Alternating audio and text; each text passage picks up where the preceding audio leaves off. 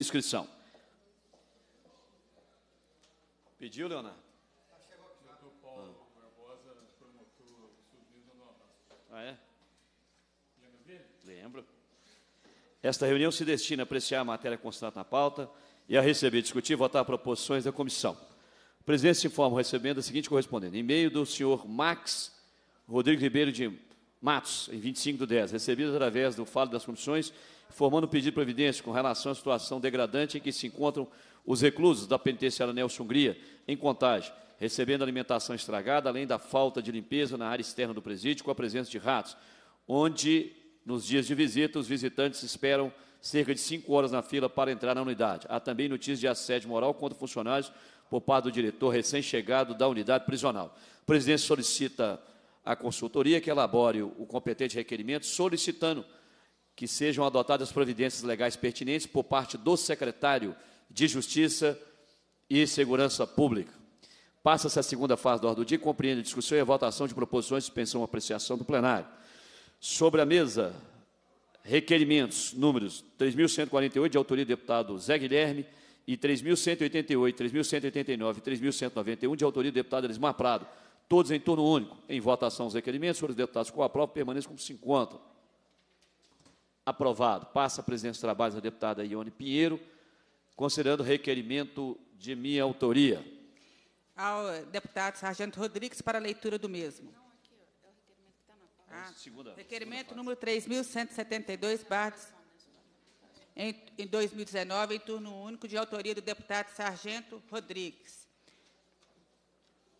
Requer que seja formulado voto de congra- congratulações com os policiais militares que participaram da operação no município de Carangola, em 14 de outubro de 2019, que culminou na prisão de um grupo de jovens autores dos crimes de tráfico de drogas e associação para o tráfico, e na apreensão de um revólver, grande quantia em dinheiro e diversos celulares, além de um veículo, crack, maconha e equipamentos roubados. Em votação, o requerimento. A deputada e os deputados que o aprovam permaneçam como se encontram. Aprovado o requerimento. Devolvo a presidência ao deputado Sargento Rodrigues. Passa-se a terceira fase da ordem do dia, compreende o recebimento, a discussão e a votação de proposições da comissão. Sobre a mesa, requerimento da deputada delegada Sheila.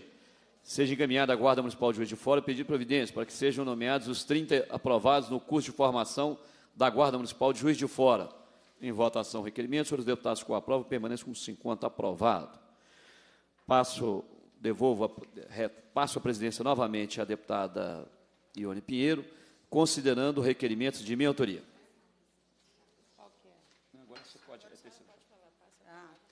Passa a palavra ao deputado Sargento Rodrigues para a leitura do mesmo. Primeiro requerimento, que seja encaminhado ao presidente da República Federativa do Brasil, ao ministro-chefe da Casa Civil, ao ministro da Justiça e Segurança Pública, aos 513 deputados federais e aos 81 senadores da República, pedir providência para realizar os esforços para que a proposta de emenda constitucional 412 de 2009 seja pautada e aprovada nas casas legislativas, considerando a necessidade de assegurar autonomia funcional e administrativa à Polícia Federal, livrando-se de ingerências externas e ainda considerando os relevantes serviços prestados pela instituição. Os requerimentos estão assinados por mim, pelo deputado Cássio Pimenta. Esse requerimento é desdobramento da audiência pública realizada na quinta-feira próxima passada, a pedido do deputado Cássio Pimenta. Esse é o primeiro requerimento.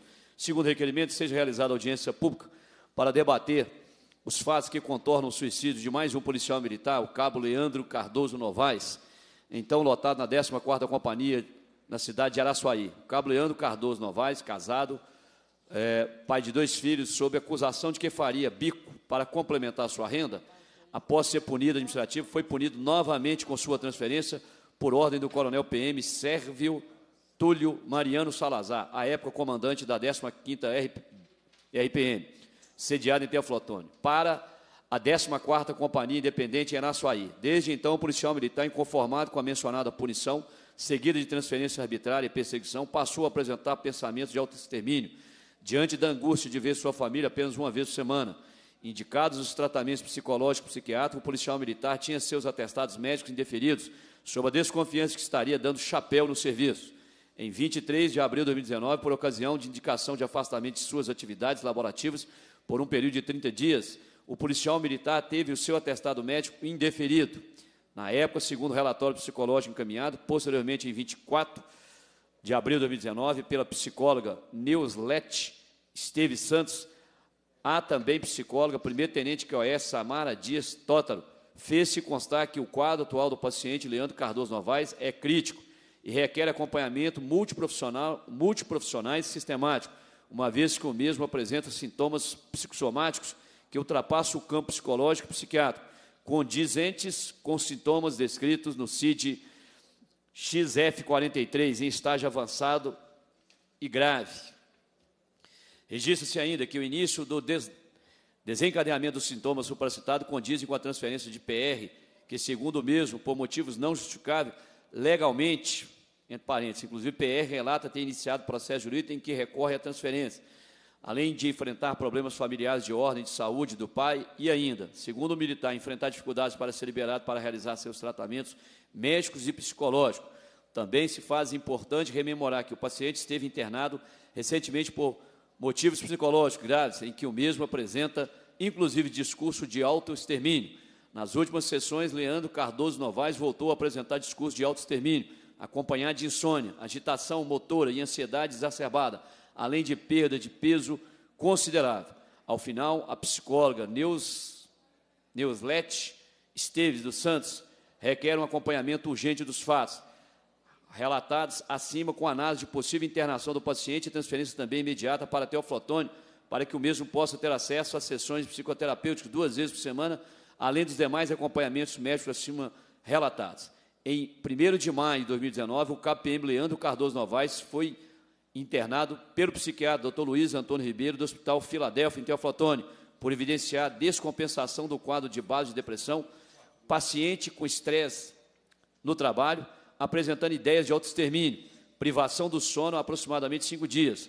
No dia 16 de 10 de 2019, o cabo Leandro cometeu suicídio na cidade de Açaí. Assim, diante do exposto, conto com o apoio dos pares para aprovação dos requerimentos, oportunidade em que se requer a convocação do coronel PM Sérvio Túlio Mariano Salazar, do tenente PM Fábio Marinho dos Santos, do major PM Rafael Fernandes de Carvalho e da primeira-tenente QOS Samara Dias Tótaro, e demais convidados. Estes são os requerimentos, senhor presidente. Em votação, os requerimentos. Cada um. Ah, para encaminhar? Pa para encaminhar. Palavra. Palavra ao deputado professor, Cle, professor Cleiton.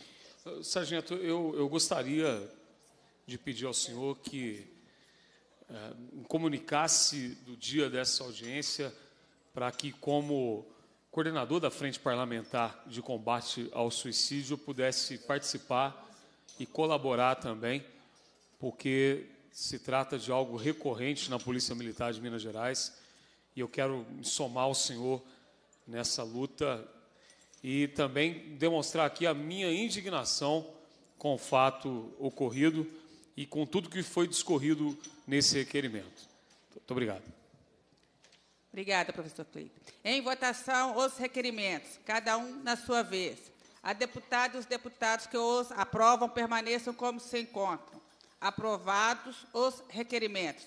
Devolvo a presidência ao deputado Sargento Rodrigues. Obrigado, deputada Ione Pinheiro. Sobre a mesa, ainda requerimentos, desdobramentos do Assembleia Fiscaliza, que não foram possíveis ser votados naquela oportunidade. Os deputados que subscrevem requerem a Vossa Excelência ser regimentais, combinado com o artigo 9 da deliberação da mesa 2705-2019, seja encaminhada à Secretaria de Estado de Justiça e Segurança Pública, à chefia da Polícia Civil do Estado de Minas Gerais, pedir providência para que sejam nomeados os 87 excedentes do concurso para o cargo de delegado de polícia, edital 01-2018. Haja vista o déficit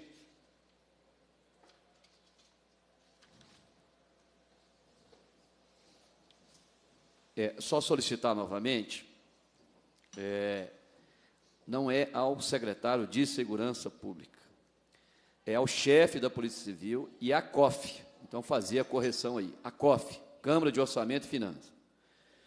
O secretário de Segurança Pública manda tanto quanto o chefe da Polícia Civil, ou seja, neste caso, não conseguem dar solução, e sim a COF.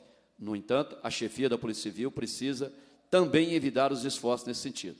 Então, fazendo a correção, os deputados que subscrevem requerem a Vossa Excelência, nos termos regimentais, seja encaminhado à Câmara de Orçamento e Finanças e à chefia da Polícia Civil do Estado de Minas Gerais pedido de providência para que sejam nomeados os 87 excedentes do concurso para o cargo de delegado de polícia, edital número 01-2018. O segundo requerimento seja encaminhado à Câmara de Orçamento e Finanças e ao comandante-geral da Polícia Militar pedido providência para que sejam evitados esforços a fim de recompor o efetivo da PMG em face do graves déficit na instituição, e tendo em vista o previsto na Lei 22.415 de 2016, que fixa o efetivo da PMG e do Corpo de Bombeiros Militar. Esses são os requerimentos. A presidência, não sei se a deputada devolveu a presidência dos trabalhos, mas retorna a presidência dos trabalhos à deputada Ione Pinheiro para que possa colocar em votação os requerimentos. Obrigada, deputado Sargento. Em votação, os requerimentos, cada um na sua vez. A deputada e os deputados que o aprovam permaneçam como se encontram. Aprovados os requerimentos. Devolvo a presidência ao deputado Sargento Rodrigues. Uma coisa? Eu, deputado Sargento Rodrigues, gostaria de parabenizar pela brilhante atuação de Vossa Excelência né, nesta comissão e reiterar o nosso pedido né, da nomeação de mais delegados. Quando é a questão é de segurança, de prioridade, isso é um momento grave, né, sério, de segurança que nós temos passado em Minas Gerais. Nós vimos hoje, né, temos que parabenizar também o doutor Wagner, né, e o governador Romeu Zema, por ter nomeado alguns, mas temos que continuar esse processo. E reitero aqui o nosso pedido de um delegado para a cidade de Sarzedo, que atende Sarzedo e Mário Campos, que a situação está insustentável. Obrigada, presidente. Obrigado, deputada Ione Pinheiro. Vossa Excelência que acabou de conseguir a designação de uma delegada, mas ainda muito insuficiente para as demandas que compõem o município cuja base eleitoral de Vossa Excelência é a deputada majoritária, que é a cidade de Birité. Nós estamos vivenciando isso aqui o tempo todo, com diversos pedidos de diversos deputados, e eu cheguei à conclusão, depois de nove horas e meia de audiência pública, recebendo aqui o comandante da PM, o chefe da Polícia Civil, o comandante do Bombeiro, o secretário de Segurança Pública, que, como o assunto tornou-se, tomou-se uma amplitude e uma gravidade enorme, nós estamos, inclusive, já solicitei a comissão e ela deve insistir na agenda com o governador do Estado. Nós queremos levar essa preocupação ao governador do Estado. Por que, deputado Ione? Por que, deputado professor Cleito? É uma questão de priorizar. E é ele que pode fazer essa, estabelecer essa prioridade. Porque o comandante da PM, o chefe da Polícia Civil, todos eles desejam imensamente que chame o concurso, que está em é, é, é, que ainda falta chamar, os excedentes, todos eles querem, todos. Só que não tem ainda força política para determinar que realmente isso aconteça. E é por isso que nós temos que romper. O bloqueio a restrição é, feita hoje, deputado professor Cleiton, é bom que Vossa Excelência entenda esse processo, na chamada Câmara de Orçamento e Finanças, que é composta pelo secretário de Governo, Fazenda, Planejamento e Gestão. É eles que compõem essa Câmara para é, fazer análise desses pedidos de aumento de despesa na área do governo. Então, quem pode determinar isso é o governador. E a aprovação da reforma da Previdência, com a PEC 06, e o avançar do PL 1645, que trata do sistema de previdenciário dos militares dos Estados da União, tem causado um déficit do efetivo, assim, algo jamais visto. Então, nós estamos à beira de um caos na segurança pública, em termos de efetivo, que de uma hora para outra pode ter 7 mil policiais militares saindo. Já hoje o déficit já é de 11 mil. Então, algo muito grave. E na Polícia Civil, com a aprovação da PEC, também terão inúmeras baixas em virtude daqueles que já possuem o tempo e que agora apenas fazem a contagem do tempo para é, é, pedir aposentadoria, o que é algo absolutamente normal, porque o servidor não é obrigado a ficar mais cinco anos, mais dez anos, sem que ele já tenha o seu direito, já, eu diria, é, o direito já adquirido em relação aos requisitos para a aposentadoria. Então é muito grave e nós já aprovamos o requerimento. Eu vou insistir agora com a nossa assessoria que peça o agendamento da comissão para tratar desse tema. Queria agradecer, dizer, eh, professor Cleito, que a audiência pública para tratar desse assunto é muito grave e nós já, inclusive, já marcamos a data. A data será dia 7 de novembro, na próxima quinta-feira é, da semana que vem, quinta-feira da semana que vem, dia 7 de novembro, às 14 horas. Então, Vossa Excelência já pode deixar anotado na agenda de Vossa Excelência, peça a sua assessoria que coloque lá para que a gente possa fazer essa agenda o mais rápido possível.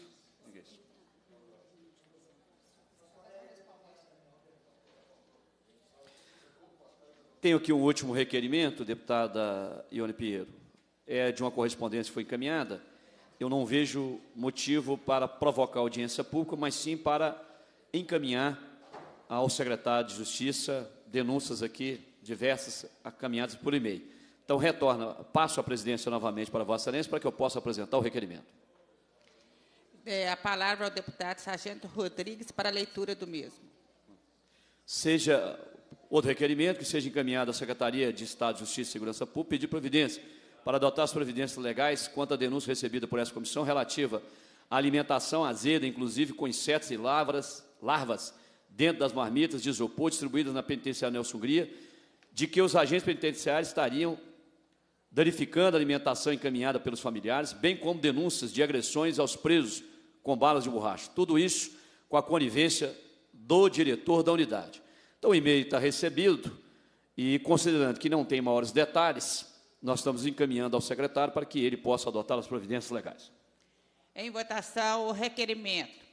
A deputada e os deputados que o aprovam permaneçam como se encontram. Aprovado o requerimento. Devolvo a presidência ao deputado Sargento Rodrigues. Agradeço, deputada Ione Pinheiro, agradeço, deputado, considerando que Vossas Excelências deixaram os gabinetes para, inclusive com agendas, atendendo a agenda no gabinete, eu queria fazer um agradecimento especial. É, sempre que solicitados, estão aqui nos ajudando. Cumprida a finalidade da reunião, a presidência agradece a presença dos parlamentares. Convoca os membros para a próxima reunião extraordinária com os editais a serem publicados. Determine a lavatura da ata e encerra os nossos trabalhos. Muito obrigado.